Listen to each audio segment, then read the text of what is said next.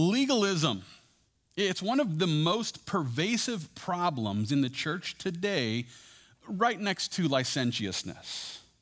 And while the licentious Christian is completely convinced that they can just continue to live in sin because, well, they think God's grace provides them with a license to sin, uh, the legalistic Christian, on the other hand, is equally confused after coming to the conclusion that those who want to live a life that's truly pleasing to the Lord must make sure that they're imposing all of their personal convictions on the lives of everyone else who's within their own sphere of influence. And so the legalistic Christian goes around taking all of their uh, personal rules and, and regulations and attempts to impose them onto others.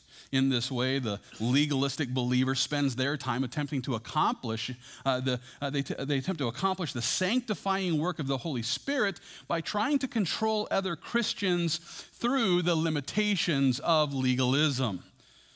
Now, if this sounds like something that you struggle with, then it's my hope that our study today will help you to realize that the limitations of legalism won't help anyone to become a better believer. Trust me when I tell you that the limitations of legalism will not help anyone to become a better believer. And as we make our way through the text before us today, we're going to begin to see, first of all, that legalism results in the limitation of oppression. Secondly, we'll learn that legalism will result in the limitation of persecution. Thirdly, and finally, we'll see that legalism results in the limitation of restriction. Well, with this as our outline, Let's open our Bibles to Luke chapter 11. Here we find the Lord Jesus. He finds himself face to face with a lawyer who was, well, less than pleased with our Savior. And as you make your way to the 11th chapter of Luke's gospel account, I just want to spend a second putting our text back into its context. It'll first help us to remember that it was in our text last week when we learned about that day when there was this unnamed Pharisee who invited the Lord Jesus over to his home for dinner or for supper, depending on where you're from. Sadly, he was quick to criticize Christ after realizing that Jesus didn't bother to wash his hands before dinner, and this was a big deal to him. In response to that self righteous Pharisee who, who challenged Jesus about his hand washing routine, uh, the Lord then turned around and challenged this guy about his hypocrisy. Yeah, the Pharisee, he had clean hands, but he had a filthy heart. And he, and, and he was hiding sins uh, within his heart while washing his hands and, and putting on a show of it. So he rebukes the Pharisee for his hypocrisy. And, and here in our text tonight, now we find this legalistic lawyer stepping forward in order to defend his self righteous friend. And with all this context in mind, let's pick up our study of Luke chapter 11. I, I want to begin studying there at verse 45. Here we learn that one of the lawyers answered and said to him, Teacher, by saying these things, you reproach us also. And he said, Woe to you also, lawyers, for you load men with burdens hard to bear, and you yourselves do not touch the burdens with one of your fingers. Woe to you, for you build the tombs of the prophets, and your fathers killed them. In fact, you bear witness that you approve the deeds of your fathers, for they indeed killed them, and you build their tombs. Therefore, the wisdom of God also said, I will send them prophets and apostles, and some of them they will kill and persecute, that the blood of all the prophets which was shed from the foundation of the world may be required of this generation, from the blood of Abel to the blood of Zechariah, who perished between the altar and the temple. Yes, I say to you, it shall be required of this generation. Woe to you, lawyers, for you have taken away the key of knowledge.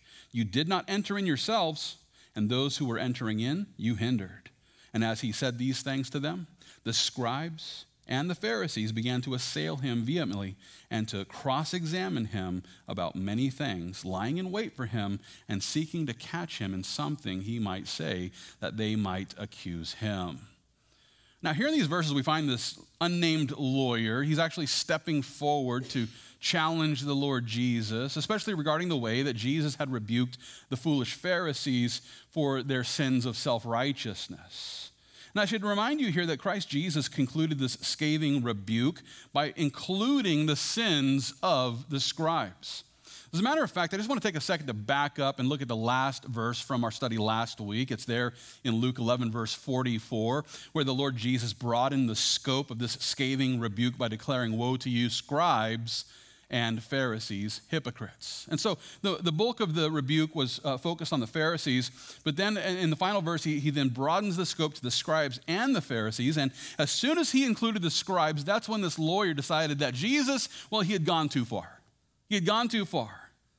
Now, now, just to be clear about this, it'll help you to know that the scribes, they're actually mentioned over 60 times in the New Testament. And just to be clear about this, the scribes were these religious leaders who were well versed in the Mosaic law and other sacred writings. And scribes not only spent their time examining the more difficult and subtle questions about the law, but they were also called upon to act as legal advisors for those who had questions about the law. According to one source, scribes were honored professionals whose modern day equivalent would be that of judges or lawyers. That being the case, it seems to me that this lawyer found here in our text today was more than likely a scribe. Now, there were lawyers who were Pharisees, there were lawyers who were scribes, so it could have gone either way. But, but as we consider what the lawyer says here, it seems like it was when Jesus rebuked the scribes that he stepped in and said, Hold on a second, now you're bringing me into this whole thing. As a matter of fact, uh, look with me again here at Luke chapter 11, verse 45. Here we learn that the lawyer answered and said to him, Teacher, by saying these things, you reproach us also.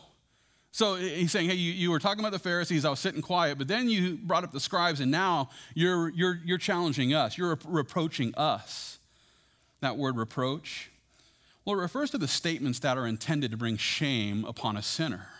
Uh, the word reproach was also used to describe the way that a person would injure another with insulting words. It's for this reason that the scholars who created the new international version of the Bible, they render verse 45 in this way.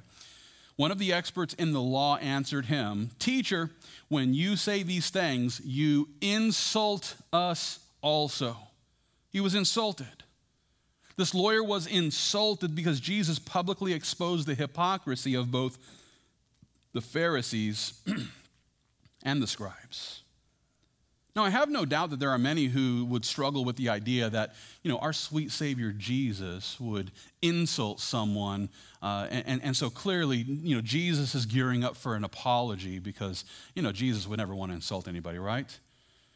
It might be difficult for us to imagine that our loving Lord was, was willing to shame those religious leaders by referring to them as hypocrites. And, and the fact is that, that Christ Jesus was constantly rebuking the, the religious leaders of Israel. He was constantly presenting them with challenges that to them were insults, but in reality, it, it was just true. Christ Jesus was quick to criticize the self righteous rulers of Israel for their hypocrisies. And rather than presenting this lawyer with an apology, rather than saying, You're right, you know, this should be a safe space for everyone, and I wouldn't want anybody to feel offended. No, no, none of that. He doubled down on the denunciation. As a matter of fact, look with me again there at verse 46. Here, the Lord Jesus turns to the lawyer and says, Woe to you also, lawyers. Wow. So he's, he's rebuking the, the Pharisees. He brings in the scribes. This guy's offended. And, and Jesus, instead of apologizing, says, No, no, I'm about to give you some more here. Woe, he says, to you lawyers.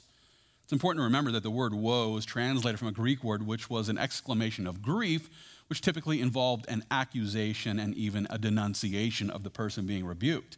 Uh, therefore, rather than apologizing for hurting the feelings of this sensitive lawyer, uh, the Lord Jesus turned his attention to, to this defensive lawyer uh, by then calling him a hypocrite and exposing his hypocrisy.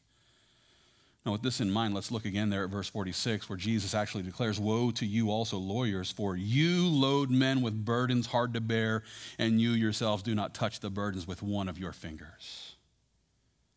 Here we find Jesus accusing the lawyers there in the land of Israel of using the law as a means of oppressing the people of God. As a matter of fact, uh, the word that's translated burden here, it actually comes from a Greek word which was used metaphorically in reference to the ceremonial observances which were rigorously uh, exacted and increased upon by human traditions. So they would take the law of God and then they would create traditions based on those laws and make them even harder uh, by you know, increasing the amount of hoops that you've got to jump through just to try to keep the law itself. That's what they were doing. They were burdening the people with all of their rules and rituals. Thayer describes the word burden as the religious precepts which the Pharisees used to oppress the people. The scholars who created the New Living Translation, they present verse 46 with even more clarity by rendering the Greek in this way. what sorrow also awaits you, experts in religious law, for you crush people with unbearable religious demands, and you never lift a finger to ease the burden. In other words, the legal experts there in Israel were oppressing the people of God by loading them down with the heavy weight of religious requirements, which they themselves were unwilling to bear. They weren't trying to lift these heavy burdens. No, they were just using them to oppress the people of God. Those legal experts had become legalistic leaders who didn't have any problem placing oppressive limitations on the people that they were trying to control. And what this means is that legalism always results in the limitation of oppression. In order to further grasp my point, we should take some time to consider the way that Paul addressed a group of legalists who showed up at the church in Antioch. And so, with this as the focus, hold your place here in the Gospel of Luke and let's turn in our Bibles to Galatians chapter 2. See, it's here in the second chapter of Galatians where we find Paul. He's uh, recounting the day when he ended up challenging the apostle Peter. And the reason why is because Peter had uh, began to side with a group of legalistic leaders who became known as Judaizers. These Judaizers were trying to oppress the Gentile believers there in Antioch you know, with all of the legalistic uh, restrictions of the law. And it's for this reason that, that Paul actually went out of his way to rebuke Peter and the rest of the Jews there in Antioch by reminding them about the limitations of the law. Let's consider how Paul puts it here in Galatians chapter 2. If you would look with me there, beginning at verse 11, here Paul informs us that when Peter had come to Antioch, I withstood him to his face because he was to be blamed. For before certain men came from James, he would eat with the Gentiles. But when they came, he withdrew and separated himself, fearing those who were of the circumcision. And the rest of the Jews also played the hypocrite with him, so that even Barnabas was carried away with their hypocrisy. But when I saw that they were not straightforward about the truth of the gospel, I said to Peter, before them all, if you, being a Jew, live in the manner of Gentiles and not as the Jews, why do you compel Gentiles to live as Jews? We who are Jews by nature and not sinners of the Gentiles, knowing that a man is not justified by the works of the law, but by faith in Jesus Christ, even we have believed in Christ Jesus, that we might be justified by faith in Christ and not by the works of the law. For by the works of the law, no flesh shall be justified. If you have the liberty to write in your Bible, I encourage you to underline that passage. By the works of the law, no flesh shall be justified. Paul was publicly rebuking the apostle Peter, and the reason why is because Peter was allowing a group of legalistic leaders to come in and oppress the Gentile believers by, uh, uh by uh, taking the restrictions of the old covenant and, and, and trying to enforce them upon these Gentiles rather than simply embracing the Gentile believers as, as Christians who are on the same level as they were. They instead rejected those who were failing to follow the limitations of the Levitical law, all the while they too were failing to, you know, follow all of the limitations of the Levitical law. Peter also allowed the oppression of legalism to restrict his own relational connections with the Gentile believers he began to limit his interaction with those Gentile believers. And it's for this reason that Paul took the time to remind him that, listen, we're all in the same boat together. No one is going to be justified by the works of the law. The law never justified a Jew, and the law will never justify a Gentile. And the reason why is because the law was given to condemn and to show us our guilt. I like the way that Paul put it in Romans chapter 3. It's there where he says, Now we know that whatever the law says, it says to those who are under the law, that every mouth may be stopped, and that all the world may become guilty before God. Therefore, by the deeds of the law, no flesh will be justified in his sight, for by the law is the knowledge of sin. The law was given not to save us, no. The law was given so that we might understand our need for salvation. The law wasn't given as, as a you know, a, as a, a, set of hoops to jump through, and if you can just get through it just fine, then you'll be saved. No, no, the law wasn't given as a hurdle to jump so that, you know, hopefully you can make it over the top. No. The law was given so that we might understand how guilty we are before God. The law was given to provide us with an objective way of understanding that we have fallen short of God's perfection. And since it's true that the law of God is unable to save us from our sins, then it's also true that the legalist who tries to convince people that they need to work their way to heaven according to the works of the law, they are actually guilty of burdening those people with the religious restrictions that they themselves are failing to maintain. That's what legalism does. It results in the limitation of oppression by placing the burden of the law on others while, the, while, while these people are unable to do what they're requiring of, other, of others. So we see then that legalism results in the limitation of oppression. And not only that, but secondly, legalism also results in the limitation that results in persecution. And in order to explain what I mean by this, let's make our way back now to Luke chapter 11. Here we find Christ Jesus continuing to challenge this legalistic lawyer about his own hypocrisy. And if you would look with me once again, beginning at verse 47, here the Lord rebukes the, the lawyer by declaring, Woe to you, for you build the tombs of the prophets, and your fathers killed them. In fact, you bear witness that you approve the deeds of your fathers, for they indeed killed them, and you build their tombs. Therefore, the wisdom of God also said, I will send them prophets and apostles, and some of them they will kill and persecute, that the blood of all the prophets which was shed from the foundation of the world may be required of this generation. From the blood of Abel to the blood of Zechariah, who perished between the altar and the temple, yes, I say to you, it shall be required of this generation. Now, uh, here in these verses, we find Jesus presenting this second woe. He's presenting another woe to this lawyer who was offended by the harsh rebuke that the Lord lodged against the scribes and the Pharisees. And in order to better understand the reason for this second woe, we should take some time to consider the historical context that Jesus here is referring to as he accuses the lawyers there in Israel of celebrating their forefathers by building these tombs, you know, for, for them, all the while failing to recognize that these were the very men, you know, who were guilty of murdering the prophets of God. With this as the focus, let's back up and take a closer look at this second woe, beginning once again at verse 47. Again, Jesus declares, Woe to you, for you build the tombs of the prophets, and your fathers killed them he says, Your fathers killed the prophets, and you celebrate them by, by you know, building these elaborate tombs.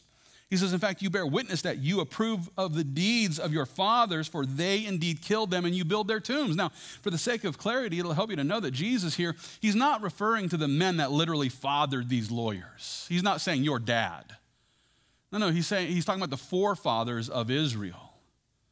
And he's saying, hey, your, your, forefathers, the, the very people that you celebrate here, are guilty of killing the prophets of God.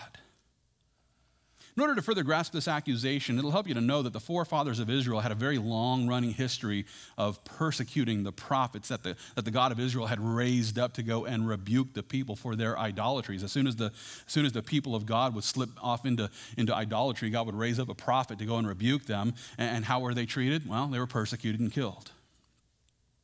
This is the point that Jesus goes on to make there in verse 49, where he declares, Therefore, the wisdom of God also said, I will send them prophets and apostles, and some of them they will kill and persecute. Now, that word persecute is translated from a Greek word which speaks of torment and torture. The same Greek word, well, it was used of those who inflict pain upon those they persecute. And according to Christ Jesus, you know, God had already informed them that this is what they would do. God had already revealed that the religious leaders of Israel were going to uh, afflict the prophets that, that God raised up to rebuke them. And it's sad to say that there were many who ended up being persecuted even to death. As a matter of fact, just to give you a brief snapshot of what we're talking about here, you should know that King Manasseh had the prophet Isaiah cut in half with a wooden saw. It's also believed that King Ahaziah struck the prophet Joel in the head with a wooden staff, resulting in a, a, an injury that ended his life. Uh, there was a priest from Bethel who is said to have tortured the prophet Amos before ultimately killing him. The prophet Habakkuk was stoned to death in Jerusalem as the Jews pelted him with stones. Uh, the Jews also stoned Jeremiah because he rebuked them for worshiping idols. And, and as well, the prophet Ezekiel was stoned to death after he showed up and rebuked the chief of the Jews uh, for his worship of idols. These were all prophets of God who were killed by the people of God. And Jesus sums up this horrific history of persecution there in verse 51 by declaring, From the blood of Abel to the blood of Zechariah, from A to Z, you've killed the prophets of God. From the blood of Abel to the blood of Zechariah, who perished between the altar and the temple, yes, I say to you, it shall be required of this generation. The Lord was reminding his audience about the way that the people of faith had been persecuted and put to death ever since the days of Cain and Abel. The story is actually found in Genesis chapter 4, where we learn about the day when Cain killed his brother Abel. And the reason why is because the Lord had rejected the offering that Cain presented. And please understand that Cain, uh, you know, took you know, the leftovers. Cain took, you know, fruit that had fallen to the ground and, and out of a legalistic obligation presented this to the Lord. And the Lord wasn't pleased. He wasn't impressed. Abel, on the other hand, he took the best of his flock, presented that out of faith and because he was worshiping the Lord. And the Lord was pleased with his offering. And so Cain you know, being disappointed because God didn't care for his legalistic offering, turned around and decided that he was going to kill his brother. And that's what he did. Cain murdered his brother Abel because, well, that's what legalists do. They persecute the people that they're offended by. Then, after mentioning the murder of Abel, the Lord Jesus then leapt forward in time to the murder of Zechariah. According to Jesus, it was the prophet Zechariah who was put to death between the altar and the temple, and this took place during the 5th century BC, about 25 years after the temple was rebuilt there in Jerusalem. Now, the reason for this was due to the fact that the prophet Zechariah was sent to warn the people of God about the way that the legalistic leaders of Israel would eventually lead them away from their Messiah and then be judged for rejecting their Redeemer and ultimately for murdering their Messiah. A brief snapshot of this can be seen in Zechariah chapter 9. There we find the prophet Zechariah declaring, Rejoice greatly, O daughter of Zion. Shout, O daughter of Jerusalem. Behold, your king is coming to you.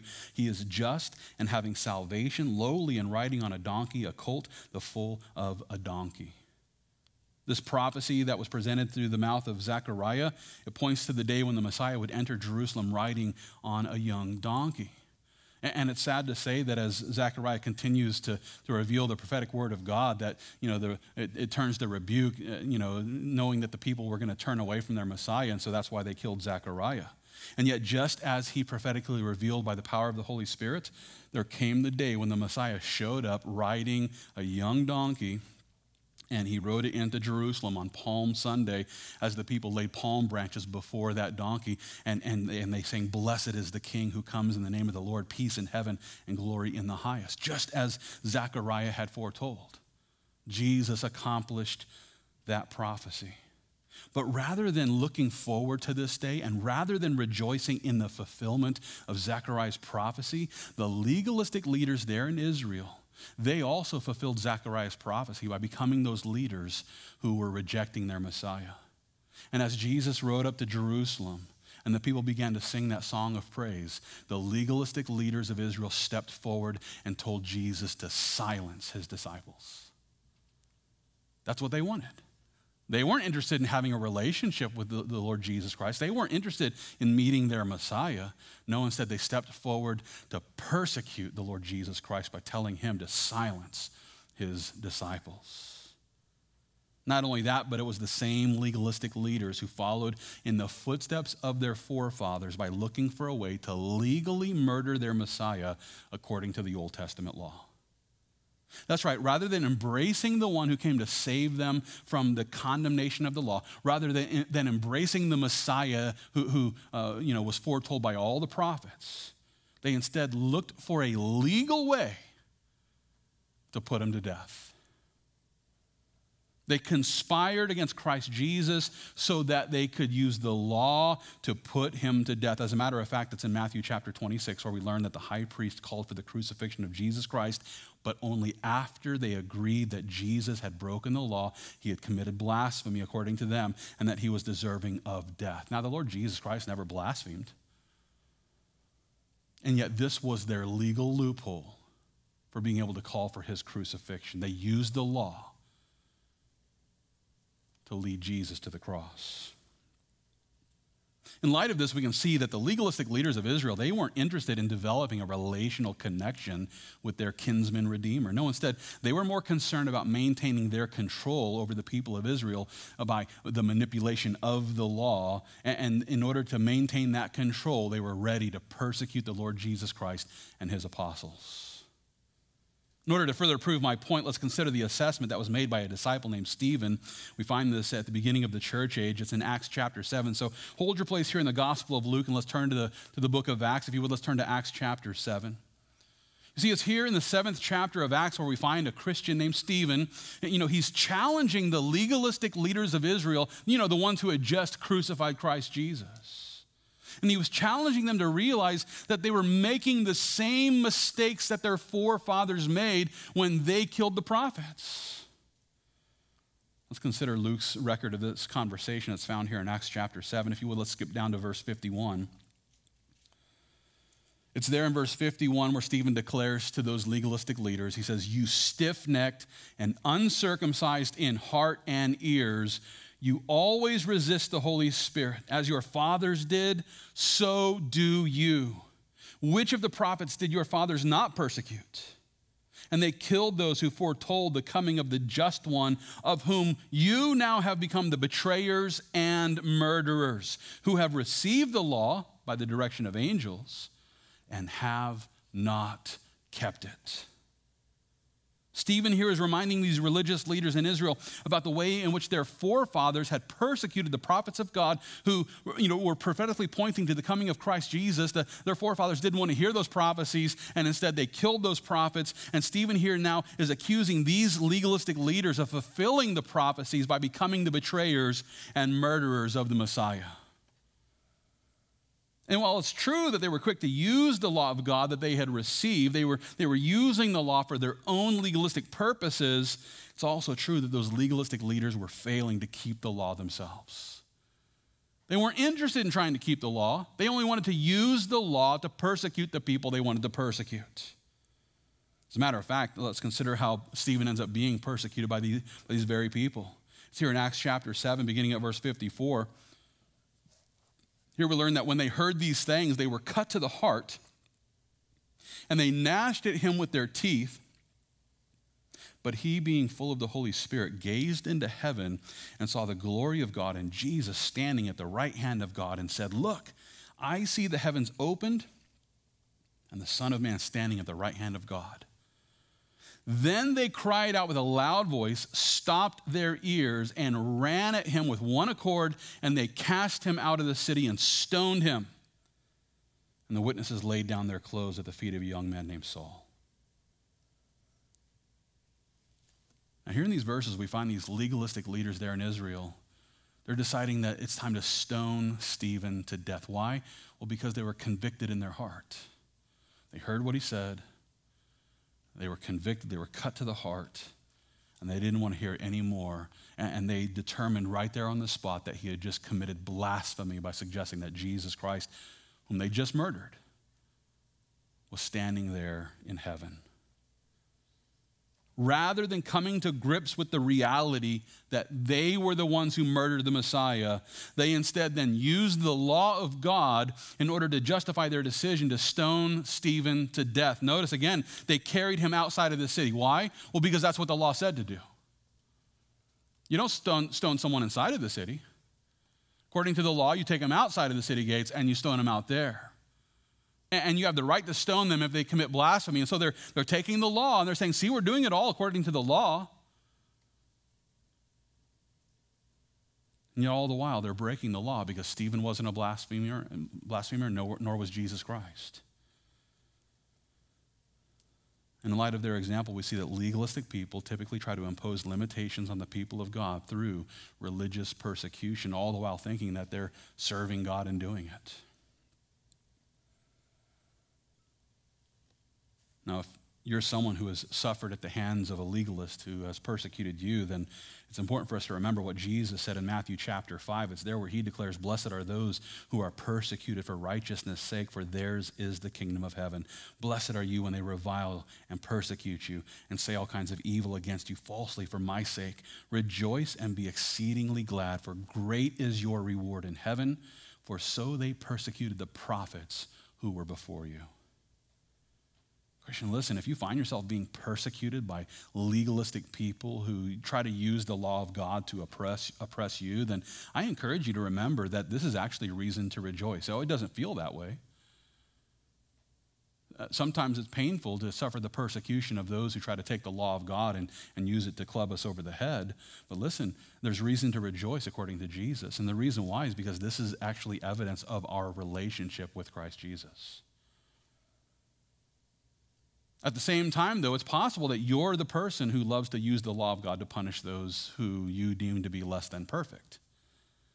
And if you're that person, if you're the person who loves to take the law of God and, you walk around, you know, trying to impose restrictions on other people and, and try to, you know, persecute those who don't really fall in line with, with, you know, your rules, it's important to realize that you might be the one who's guilty of trying to restrict the people of faith with legalistic limitations. And the reason I say this is because, listen, legalism not only results in the limitation of oppression that results in burdens uh, upon believers, and, and legalism not only results in the limitation of persecution, which, which ends up punishing the people of God, but listen, legalism also ultimately results in the limitation of restriction. And in order to explain what I mean by this, let's make our way back to Luke chapter 11, because here we find Christ Jesus. He's continuing to challenge challenge the legalistic lawyer about his own hypocrisy. And if you would, let's pick up our study beginning at verse 52. Here the Lord rebukes this lawyer by declaring, Woe to you, lawyers, for you have taken away the key of knowledge. You did not enter in yourselves, and those who were entering in you hindered. And as he said these things to them, the scribes and the Pharisees began to assail him vehemently and to cross examine him about many things, lying in wait for him and seeking to catch him in something he might say that they might accuse him. Now, here in these verses, we find the Lord Jesus, he's presenting this third woe to that legalistic lawyer. And as we take a closer look at this third woe, we can see here that those, those legal experts, these lawyers who, who, who were providing people there in Israel with legal counsel, they were actually failing to comprehend the very scriptures that they were studying. They, were studying the scriptures, they, they were examining the law, uh, but they didn't really understand the purpose of the law. And therefore, Jesus says that they were, they were failing to actually take, uh, you know, use the key of knowledge. Notice again uh, the way that Jesus puts it in verse 52. Here, the Lord challenges them by declaring, You have taken away the key of knowledge. You did not enter in yourselves, and those who were entering, you hindered. In other words, they were failing to properly use the Old Testament uh, scriptures as the key of knowledge that it was intended to be. I'll help you to know that the word key, found there in verse 52, it's actually translated from the same Greek word that Jesus used when he referred to the keys of the kingdom. There's a key here, a key of knowledge that the lawyers, the legal experts, were failing to use properly. And in order to grasp the way that those lawyers were failing to use the key of knowledge, I want to consider something that Paul wrote in his letter to the Christians in Galatia. Hold your place here in the Gospel of Luke, and let's turn back in our Bibles to Galatians chapter 3. You see, it's here in the third chapter of Galatians where we find Paul. He's helping the Christians there in Galatia to understand the scriptures that were actually given for a very specific purpose. The scriptures, and, and specifically the Old Testament law, was given so that we can use it as a key of knowledge. And we, and we recognize that keys are designed to open things. Therefore, there's this key of knowledge that's found in the Old Testament scriptures, uh, which was designed to open the door of salvation uh, through uh, the knowledge of our guilt. Let's, let's consider how Paul puts it here in Galatians chapter 3. If you would look with me there, beginning at verse 22, here we learn that the scripture has confined all under sin, that the promise by faith in Jesus Christ might be given to those who believe. But before faith came, we are kept under guard by the law, kept for the faith which would afterward be revealed. Therefore, the law was our tutor to bring us to Christ that we might be justified by faith. But after faith has come, we are no longer under a tutor. For you are all sons of God through faith in Christ Jesus.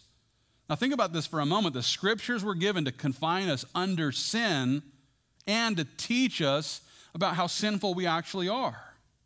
The scriptures that contain the law of the Lord are supposed to serve then as our teacher, uh, which then teaches us about our need for the forgiveness that must be received by faith in Jesus Christ. And in this way, uh, the Old Testament law becomes the key of knowledge that unlocks the door so that we can then enter into salvation by faith in Jesus Christ. I like the way that Paul put it in 2 Timothy chapter 3. There he reminds Timothy about the way that the Holy Scriptures are able to make us wise for salvation through faith, which is in Christ Jesus. The scriptures were given to serve as a key that unlocks uh, the door of salvation by helping us to see that it's by faith in Jesus Christ that we escape the condemnation of the law. The law of God is supposed to function then like a key of knowledge, which opens up this door of salvation. I like the way that King David put it in the 19th Psalm. It's Psalm 19, verse 7, where David says, The law of the Lord is perfect, converting the soul. Think about that for a moment. The law of the Lord, the law of God is perfect for the conversion of the soul, it's perfect for what it was intended for the Lord gave us the law as a key of knowledge, which helps us to understand number one, we're all lawbreakers. Number two, that we need forgiveness because we've broken the law. And as we come to grips with the fact that we are guilty before God, then the key of knowledge is designed to lead us to the foot of the cross where the gracious gift of forgiveness is received by faith in Jesus Christ. And with that being the case, it's sad to say that these lawyers there in Israel, uh, they spent their days studying the law. They spent their days understanding the Old Testament. They spent their time really uh, getting a grasp on all of the laws found in the Old Testament, but they weren't using it as a key to open up a door. No, they were using the law as a bludgeon to, to club people over the head. They were using the law of God to hinder people from entering in. With this in mind, let's turn back to Luke chapter 11 and let's take another look at the accusation that Jesus was making. It's there in verse 52, where again he declares, Woe to you, lawyers, for you have taken away the key of knowledge. You do not enter in yourselves, and those who were entering in, you hindered. That word hindered was translated from a Greek word, which could also be rendered prevent, refuse, or forbid. They were taking the law of God, and rather than using it as a key to open a door, they were taking the law of God and using it to prevent people from entering into the salvation of Jesus Christ. The same word uh, that's translated hindered, it stems from a root word which speaks of a restraining or a restricting through the threat of punishment. And so they were taking the law and they were using it to restrict people, and those who did not follow those restrictions, they were threatening with punishment. Rather than using the key of knowledge to help people see their need for salvation, these legalistic lawyers were using the word of God to restrain and restrict the people of God so that they could maintain their own control over the people of God. The proof of this, it's found here in our text today because this is exactly what they did to Jesus Christ. As a matter of fact, look with me again there at Luke chapter 11, verse 53. Here, Luke tells us that as he said these things to them, as he challenged them with these three woes, the scribes and the Pharisees began to assail him vehemently and to cross examine him about many things. Yep, Jesus was on trial. He was on trial and he was being cross-examined and they were taking the law and they were going through all 600 you know 13 you know laws and saying okay let's let's see where he's wrong we know he's guilty so now let's just prove it by catching him in some some statement that that is you know in conflict with the with the law in verse 54, we learn that they were lying in wait for him and seeking to catch him in something that he might say that they might accuse him of. Rather than receiving the rebuke of the Lord Jesus Christ, these legalistic leaders proved his point they proved his point by, uh, by attacking him and challenging him and questioning him, and they were looking for a way to accuse him according to the law of God so that they could use the law of God to put him to death. All the while, they're failing to realize that the Lord Jesus is literally the incarnation of God's holy law. If you want to understand the holiness of God, look at the law. Because the law actually helps us to see the holiness of God. And here is the law of God incarnate. And they didn't recognize it. They spent all their time studying the law, but could not recognize the law incarnate when he stood right in their face. Instead, they used the law to try to restrict the ministry of the Lord Jesus Christ uh, because they were jealous. They were jealous of him. And they wanted to restrict his influence over the people of God. And so they took the law and they tried to silence the incarnation of the law. And listen, legalism didn't stop there in the first century when Jesus died on the cross.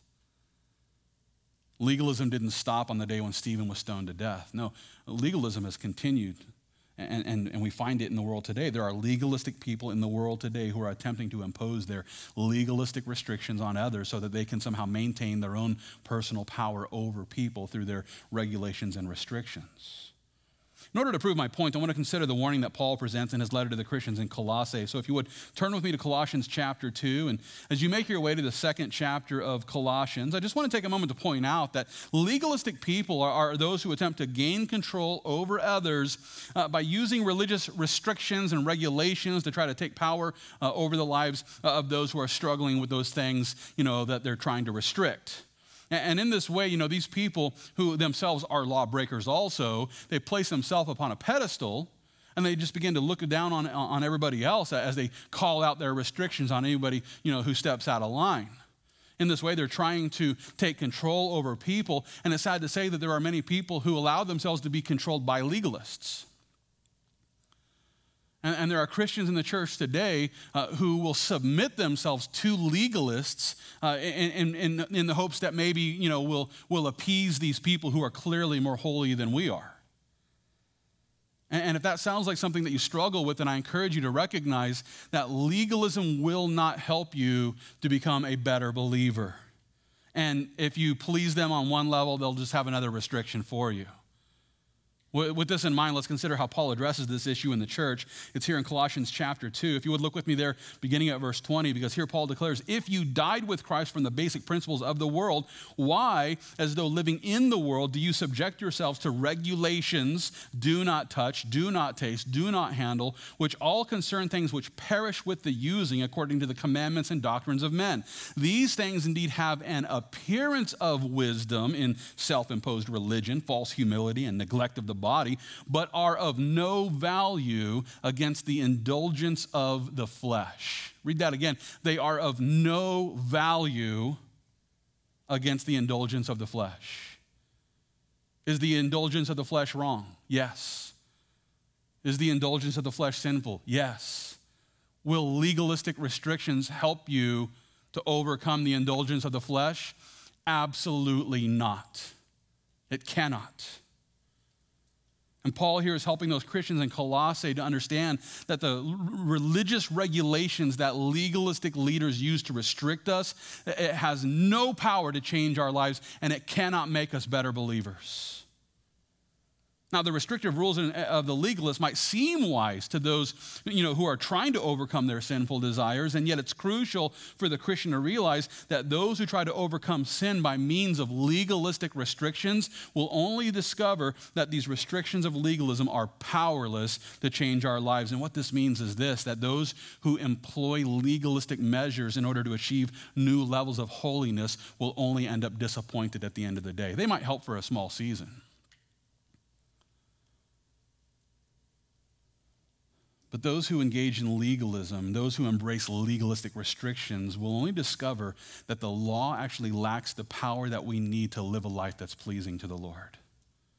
Now remember, the law is perfect.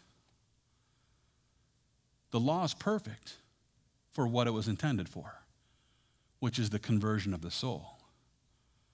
But the law was not given for our sanctification. The law of God can no more help us to obey God any more than the speed limit sign can help us to drive the speed limit. Oh, you're driving down the road, you see the speed limit. And either you want to obey the speed limit or you don't. But the sign itself will not help you to obey the law. It can just tell you when you're breaking it. But that being the case, it's, it's crucial for Christians to understand that we can look at the law all day long. We can memorize the law. Uh, we, can, we can know, you know, all, all the laws that, that, that the Bible, you know, presents us with and, and, and just have a very clear understanding of how many laws we're actually breaking. Because that's all it can do. But that being the case, we can rejoice in knowing that those who will simply walk by faith with Jesus Christ we will be given the spiritual strength that we need so that we can deny the sinful indulgences of our flesh. I think that Paul put it clearly in Galatians chapter 5, where he declares, I say then, walk in the Spirit, and you shall not fulfill the lust of the flesh. For the flesh lusts against the Spirit, and the Spirit against the flesh, and these are contrary to one another, so that you do not do the things that you wish. But if you are led by the Spirit, you are not under the law. Walk in the Spirit, he says. He doesn't say, walk in the law and you shall, fulfill, you shall not fulfill the lust of the flesh. He says, walk in the Spirit and you're not under the law. Those who are walking in the Spirit will not fulfill the lust of the flesh. And the reason why is this the Holy Spirit will never lead you into a life of sin. If you will simply walk in the strength of the Holy Spirit, then the Spirit will always lead you to live a life that is pleasing to the Lord. Therefore, Paul assures us that those who are led by the Spirit are no longer under the law, and the reason why is because we're not doing anything that is in conflict with the law. Sadly, though, there are still many legalists who are quick to insist that, well, the restrictions of the law are necessary. The legalists will quickly, you know, speak up and say, well, you know, if you don't have the restrictions of the law, then people are just going to be able to go do whatever they want to do. They will insist that without the imposition of religious restrictions, the Christian just begins to engage in licentiousness. Now, just to be clear, licentiousness is based on the belief that the grace of God provides us with a license to sin. And there are many Christians who are living this sort of life. They, they think that, you know, because they receive the forgiveness of the Lord Jesus Christ, that they can just go do whatever they want to do. That they can go do things that are clearly stated as being sinful according to the scriptures. Listen, God's grace does not give us a license to sin.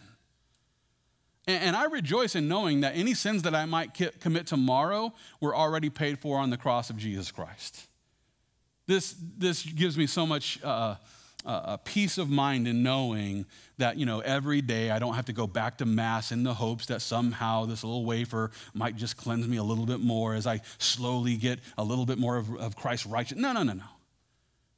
At the moment of salvation, you receive the imputation of Christ's righteousness, all of your sins, past, present, and future, taken care of on the cross. Praise the Lord for that. Does this now give me a, a, a, green light to just go about living in sin? Absolutely not. Licentiousness is completely off base. But the solution for licentiousness isn't the polar opposite, which is legalism. Because legalism will not help me to stop my sinful desires.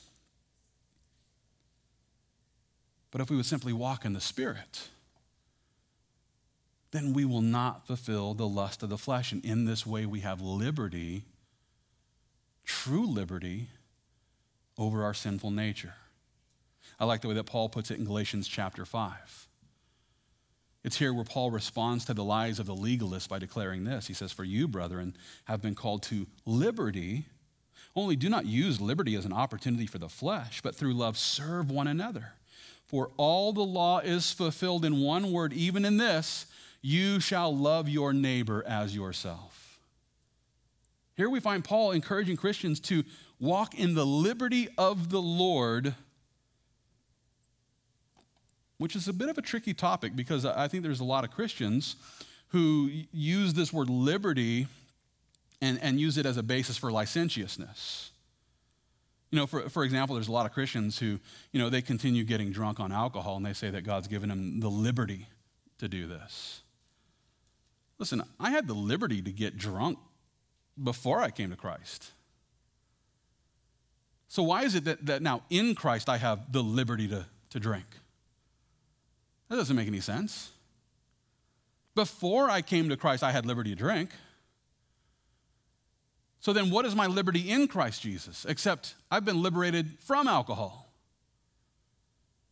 The Lord Jesus gives me the liberty to not drink. Before, I was going to get drunk. But now in Christ, I've been liberated.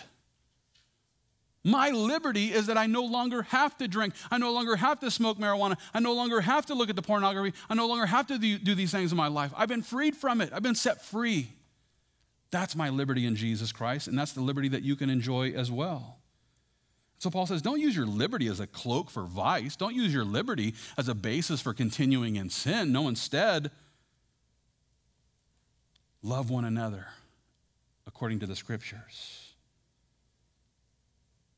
And as we walk in love according to the liberty of the Lord, we are set free from the condemnation of the law. And, and, and, while some might see this liberty from the condemnation of, of, the law as a license to sin, Paul assures us that that is not true, that those who are truly walking in liberty will end up fulfilling the law of God.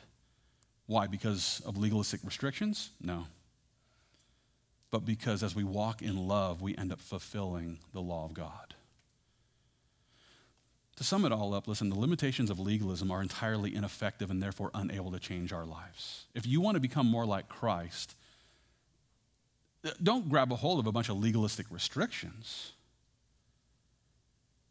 They can't change you. Instead, walk in the power of the Holy Spirit, and He will guide you in the true liberty of the Lord. But listen, if you find yourself on the receiving end of someone else's legalism, uh, then you ought to inform that individual that their legalism isn't going to make you a better believer. You see, legalism always results in the limitation of oppression as believers end up being burdened with rules and restrictions that are beyond everyone's ability to keep.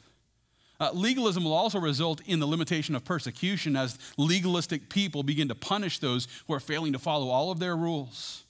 And legalism will always result in the limitation of restrictions as the freedom of liberty is replaced uh, by a path that leads us back into the bondage of the law. And with that being the case, I encourage every Christian to ignore the legal experts in our lives.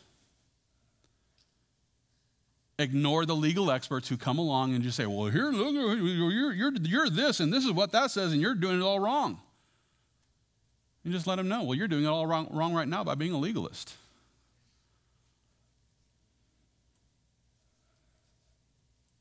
We don't really need to pay a lot, of, a lot of attention to the legalists who are trying to convince us that in order for us to become better believers, that we have to do exactly what they say we ought to be doing. At the same time, though, I also encourage those of us with these legalistic tendencies, which is probably all of us, those of us with legalistic tendencies need to remember that the Lord isn't calling us to the position of Holy Spirit. The Holy Spirit knows how to do his job. And yeah, there's going to be times when the Holy Spirit uses us in someone else's life to bring that word of challenge, and, and, and iron sharpens iron. I love all of that. But there are some people who just think that their job is being the Holy Spirit in everybody's life. And so they walk around with their rule book and they're checking boxes and making sure everybody's in line according to their restrictions.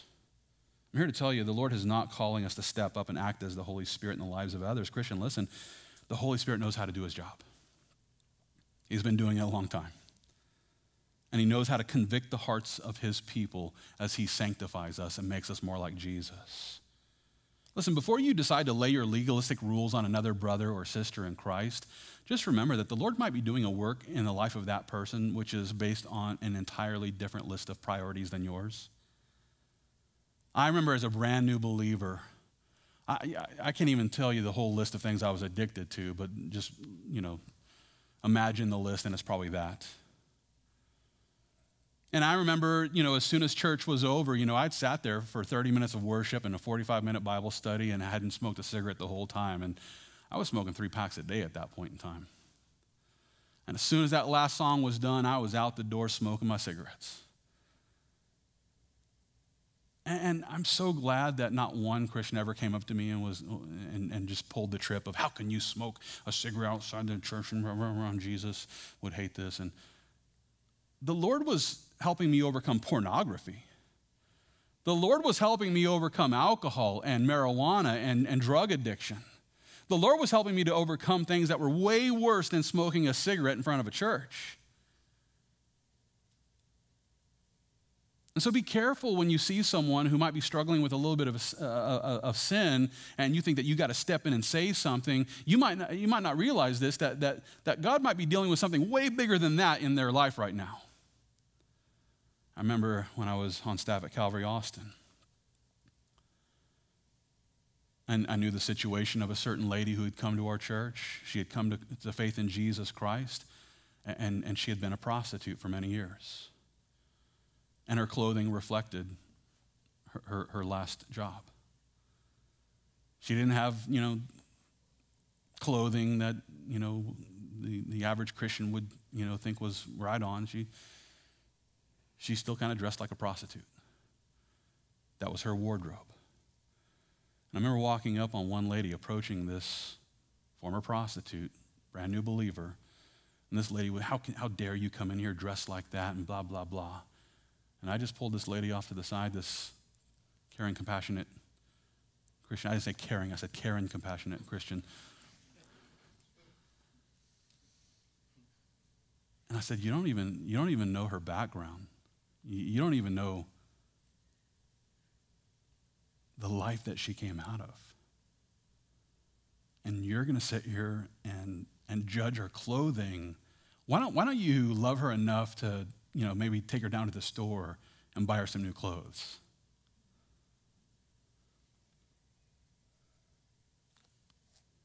Legalism is sad, and it doesn't help anyone to become a better believer. Let's be compassionate with one another as we're all struggling with sin. We're all struggling. And, and so if you see me and I'm struggling with, you know, speed limit stuff, I see you and you're struggling with, you know, whatever it is you're struggling with. We're all struggling. Look, I, I struggle with great pride about the beard that, that God has given me, you know, like, but, but God's working on me. Like, I, I get it. Not everybody can have such a luxurious beard. But, but, but seriously, though, we need to be compassionate and realize that we're all a work in progress. Amen.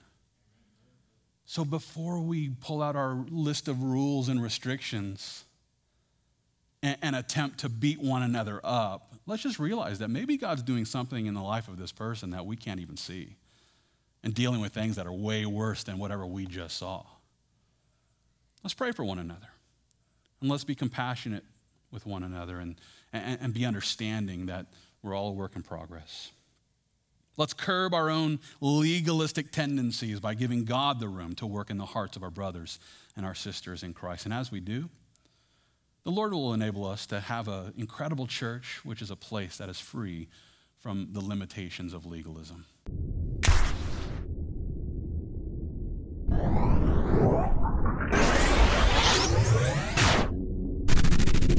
you.